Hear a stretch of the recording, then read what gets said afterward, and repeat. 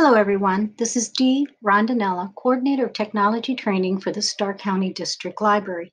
Today's topic for the sneak peek into technology is the Ohio Digital Library. We will take a look at how to locate the site, log into your account, search and borrow an item, place a hold, and then locate your holds and your loans.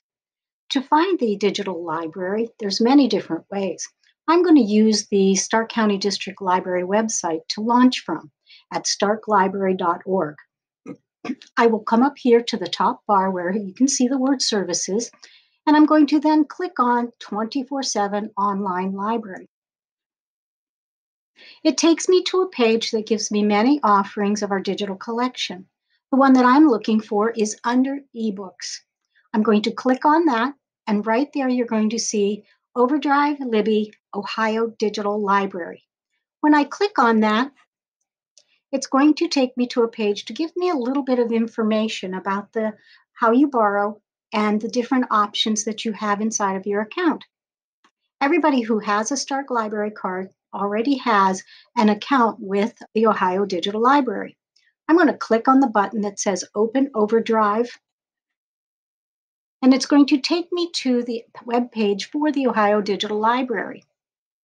You're going to see it's very distinct with its colors, but it also has in the top left hand corner its logo and the words the Ohio Digital Library.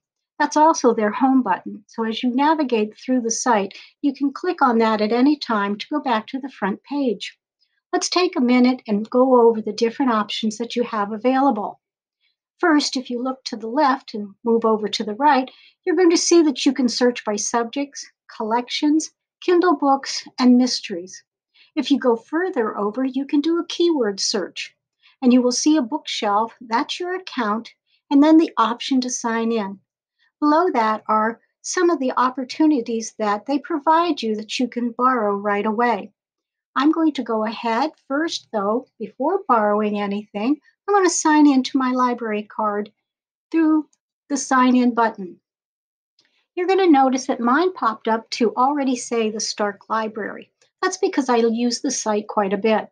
If you don't see that, use the drop down arrow and select it from the list.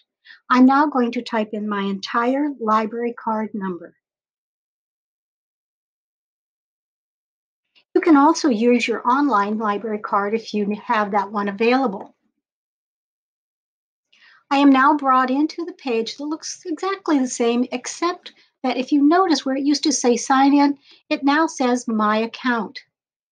Underneath the my account option, you're going to see that you can locate your loans, your holds, you can create a wish list, you can rate titles, make some recommendations, and change some of your settings. For now, I would like to search for an item. When I click on the search button, it brings me up with the keyword box. I'm going to go ahead and type in my favorite author, but I want to show you some things inside of here. It does give me a list of options that I can choose from, which here is my author, author that I like so well. But I wanted you to take your eyes over here to the right hand side of the screen. You will see that it lists authors, but look, it also lists series. So you have an option to click there as well if you're looking for a series. I'm going to click on the very first one. And it brings me a list of options available to me. It the first page is going to have one of 24 out of 396 results. If you look to the left-hand side of the screen, you're going to see that you have options of all titles available now. So maybe you want to read it now and not put a hold on it and something that is coming soon and you would like to get your opportunity first. You can put a hold on it and wait for it to be published. You can also slide over and you can look at the recommend to library, and those are the things that uh, you may have recommended to the library in the past. If you continue down, you can see audience, date added, ebooks, audiobooks, and subjects, and much more. But I would like you to see the different items that are here. The first one, you can see it does say available at the top of the uh, book jacket. The next one says wait list. If it says available, then you are able to borrow it now. And you can see that if you go to the bottom of the book jacket, you're going to see the word borrow. If you see the word wait list at the top of the book jacket and you go look down to the bottom, you're going to see it says to place a hold. If you would like more information on the book before you make your decision, you can look, click on the three dots next to the author's name. When I click there, it's going to allow me to read a sample, view some details, and I can also see some of the read alikes. I'm going to go ahead and borrow this book. I'm going to click on borrow. And it's going to bring me a box that's asking me how many days I would like to borrow the book for. I can click on 21 days, or using the drop down arrow, I can select 7 or 14 days. This is when the book will be automatically returned to the library. I'm going to click on Borrow. And now I get a box. It's telling me uh, where to find my information. I can, if I wanted to, read it now with Kindle, or I can read it in the browser, or I can download it. Now I have the Libby app, so I would most likely download it, but I would like to see you see more options before I do that. So I'm going to click on the box that has the X, and it brings me back to the page.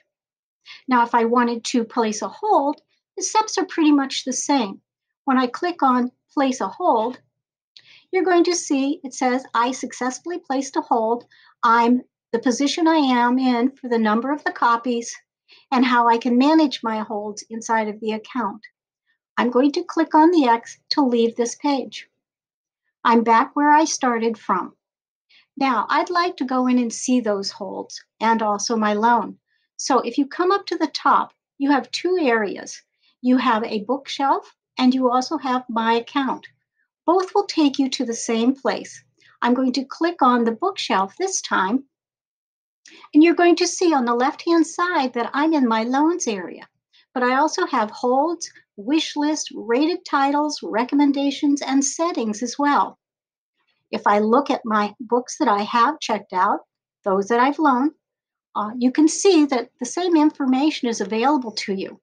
But you also have another button. It's called Return. So if you do finish the book early, you can click on the Return button. It's going to ask you if you're sure, and then click on return title and it will return the item to the collection. And now it's off my, my actual record. I can borrow eight more titles when I'm ready. Now I want to go and see what my holds look like. So I'm going to come over here to my holds. When I click on it, it's going to bring me up the list of items that I have on hold. You can see that uh, here I am, the one I put on hold just a few moments ago, and I have a couple of others. And it does give me some basic information as to about when I place the hold and where I'm at in the lineup on the number of copies. If I want to edit my email for my notification, I can use this button. If I want to suspend my hold, I can use the center button. Suspend means that you temporarily want to be put on on the shelf so that the person who's beneath you will have the opportunity to have the book first. When you are ready, you just reinstate the hold and you'll go back into the line and you will wait for your hold to become available. You can also remove the hold by clicking on the X to remove the hold. I'm going to come up here to the very top again, and you're going to see a bell. This bell is your notification. That is where if you receive an email, you will be able to click here and let you know which books are available for you to download once your hold is available. I'm going to go back to the front page uh, by clicking on the Ohio Digital Library option, and I'm back where I started. I hope this helps you, and if you have any questions, please contact me at trainer at starklibrary.org. And I hope you enjoy your reads.